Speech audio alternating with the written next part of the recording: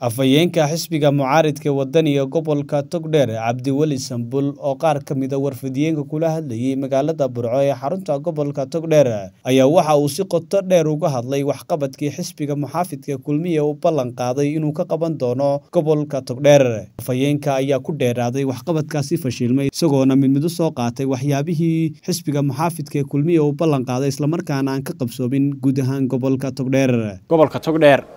Waxaa laga dhagax dhigay riigag fara badan kuwaasoo laga dhagax dhigay degmooyinka ku xeeran. Waxaynu u kala saari doonnaa insha allah laba saddex qaybood. Qayb xukuumaddu ballanqaadkii ay ballan qaaday degaamooyinka ay u ballan qaaday aan wax riigana laga fulin wax mashaariicana aanay ka hirgelin. Sida degmooyinka duruqsi riyo xood ceeldheere qoyta nasiye. Dhammaan waxay ku jireen ballanqaadkii xisbiga kulmiye degaamadaa wax allaaliya wax laga hirgeliyey oo ceelashaasi ma jiraan iyo kuwo kaloo aanaan halkan ka xusin xogtoodana insha allah si dhaqsa aan u soo gudbin doonno waxaa xusid mudan in iyana la hirgeliyey oo la dhagax dhigay ceelasha. Intii xukuumadda xukuumaddii hore ama xisbigan kulmiye uu jiray dhoqoshay qoryaale iyo qorlugud. Dhammaan waxaa laga dhagax dhigay ceelelbiyoodyo xukuumaddu riigaggii way geysay dibna waa looga soo raray xata al'aan wax informationa oo laga bixiyeyna ma jirto. Waxaa xusid mudan ceelasha iminka xukuumaddu ay hirgelisay ee maanta fadhiya waxaa ka mid a ceelkii beledhiig oo muddo dhoweyd aynu ogeyn oo xadhigga laga jaray iminka muddo saddex usbuuc ku dhow ama bishii u dambaysayna aan shaqayn saddex boqol iyo konton kun oo dollar baa ku baxay. Laba boqol iyo konton kun waxa bixiyey dadka deegaanka.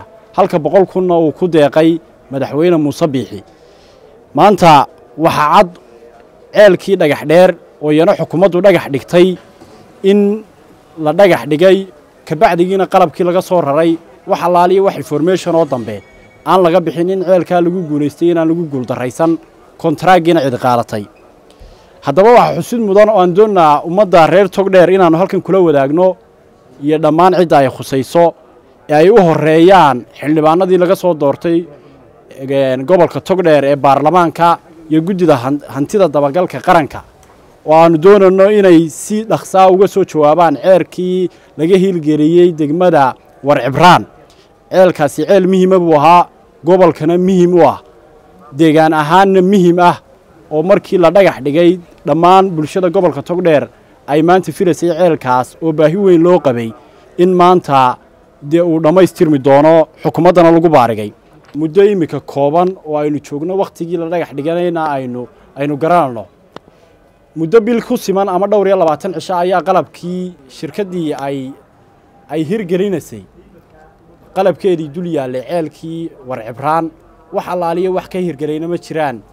Qalabkii markii la dhigay ee labaatan cisho la qodayey shirkaddii way ka soo laalaabatay waxaana lagu wargeliyey dadkii deegaanka inay xukuumaddu tiri dib uga soo baxa. Labada qorshee maanta yaalla waxaa weeye ee xukuumaddu inay ka soo jawaabto ceelkii warcibraan in shirkaddii soo noqonayso oo ay qodayso iyo in ceelkaa aan lagu guulaysan oo aan reer cibraan wax wara aan loo haya ayna jirin wax ceelana aan loo hayn. Sida xoguhu tibaaxayaan iminka dadka deegaankaanu ka helnay markay la xidhiidheen xildhibaanadii ka soo jeeday deegaanka waxaa lagu wargeliyey in maanta wax loo hayo oo mashruuca ceelbiyoodka xukuumadda muuse biixi u soo wadaa ayna jirin maanta waxaan leenahay xukuumaddu ha caddayso ceelkaa qandaraaskiisii waa la qaatay. Dee ceelkaa waxaanu leenahay si deg degaha looga soo jawaabo halana loo caddeeyo gobolka iyo iyo degmada taariikhiga ee warcibraan waxaa xusid mudan oo madaxweynaha jamhuuriyadda somalilan aan xusuusinaya buugga xusbiga kulmiye waxaa ku jira in la hirgelin doono muddada shanta sano ah saddex boqol iyo konton ceelbiyood shan dhaam oo waaweyn oo biyo xidheenna iyo boqol iyo konton balli maanta waxaa muuqata boqolkiiba konton ama boqolkiiba afartan inaanay hirgelin ballanqaadkii xusbiga kulmiye. Waxaa xusid mudan oo aynu aad iyo aad u aragnaa dhaam weyn oo laga hirgeliyey degmada gabiiley oo laba milyan ku baxeen. Madaxweyne gobolka togdheer iyo gobolka gabiiley maanta laba gobol oo kuu siman bay ahaayeen xilligii kaambeeg iyo codka. Maanta waxaa xusid mudan maanta gobolka togdheer oo aynu ognahay baaxaddiisa iyo codka yaalla maanta inaad hagratay waxqabad kasta marka laga eego baahiyaha asaasiga ah. Waxqabadkaagii inaad xagaldaacisay oo maanta labadii gobol ee isku codka ahaa maanta gobolkii gabiile aad ku ururisay waxqabadkaagii. Gobolkii togdheerna maanta uu asaasi baahiyaadkii asaasigaayoo dhan uu ka aradan yahay. Madaxweyne maanta waad soo socotaa gobolkii togdheerna waad imanaysaa toddobadii sanana wax waxqabadoo kaaga soo horreeyaa ma jiraan. Dhammaan gobolka togdheer iyo degaamada hoos yimaada waxqabadkaagii boqolkiiba labaatan kama hirgelin. Waxaan maanta bulshada togdheer ugu baaqayaa waynu isla arkanaa waxqabadku dhinac kastoo uu noqdo mid biyood mid caafimaad mid waxbarasho. Maanta dhammaan bulshada gobolka togdheer waxaan leeyahay tashada codkiinnuna maanta mid ha noqdo. Ayaan leh cabdulaahi c b a t v magaalada burco